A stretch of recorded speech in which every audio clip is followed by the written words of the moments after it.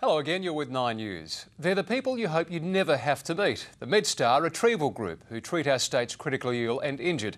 But today, Nine News was given a rare insight into what it takes to join the specialist emergency team.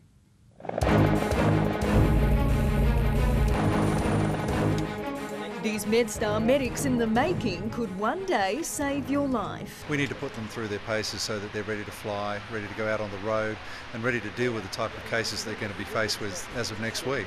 As part of their aeromedical training course, these 14 trainees are learning how to safely retrieve and carry seriously ill patients in all kinds of situations. One, two, three, up. Can be anywhere from across to Port Lincoln, up north, Port Pirie, Port Augusta, down to Victor Harbour, Goolwa, sometimes even Mount Gambier. And these students are by no means novices. They're all senior doctors, nurses, and paramedics ready to take their skills to the next level. I'm an anaesthetist. I'm used to being in a theatre where it's all fairly controlled. It's my world.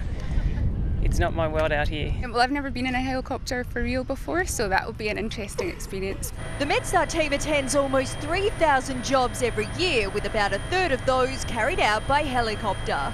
And while that's their most recognised form of transport, they also use fixed wing planes and road ambulances. The whole idea is the right patient, right place, right time with the right team, and the right transport platform. It's invaluable. It, it saves lives. Elise Baker, 9 News.